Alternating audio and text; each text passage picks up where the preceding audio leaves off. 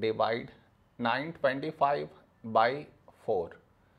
To do this division, we should frame it in this way. 925 here, 4 here.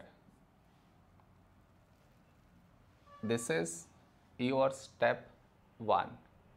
Next, here we have 9, here 4. A number close to 9 in 4 table is 4 twos 8. Now we should subtract, we get 1. After this, bring down the beside number, so 2 down, so 12. When do we get 12? In 4 table, 4 threes 12. Now we subtract, we get 0. After this, bring down the beside number, so 5 down, so 5.